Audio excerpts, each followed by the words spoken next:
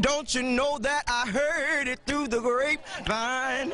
How much longer would you be my baby? All right, not too bad. That's one of the many American Idol hopefuls singing their hearts out here in Metro Atlanta today, hoping for that golden ticket to go to Hollywood.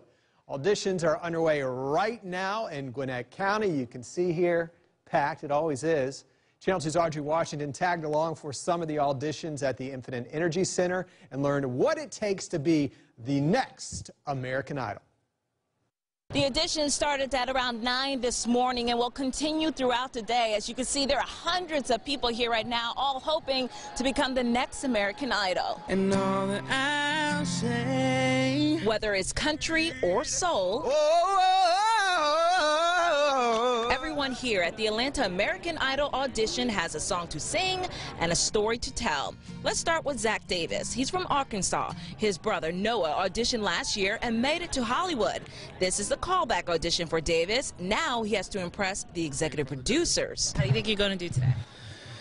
Ugh, I'm oh very nervous. And Davis isn't alone. Thursday, inside the Infinite Energy Center, I saw some nervous faces and even overheard a woman praying in the ladies' room. And speaking of prayer, Jeanette Warmate and her family did a lot of it as they drove from Houston. We got here this morning around about like 2.30 this morning. Warmate is rooting for her daughter. She tells me singing runs in the family and didn't hesitate to prove it. I am saved, saved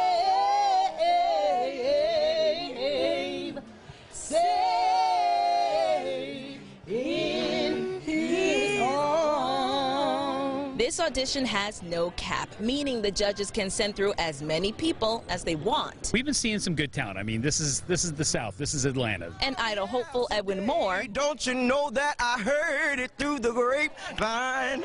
How much longer would you be my? doesn't plan to disappoint. Singing is my passion. Music is my passion. Music is what drives me. Now, the hopefuls who got a no today can still audition online. Those who got a yes will next go before the celebrity judges in a new city. In Gwinnett County, Audrey Washington, Channel 2, Action News. That was a fun place to be today. Oh, the guy in the blue shirt was really good. He was taking The- the guy advantage of that dancing? camera.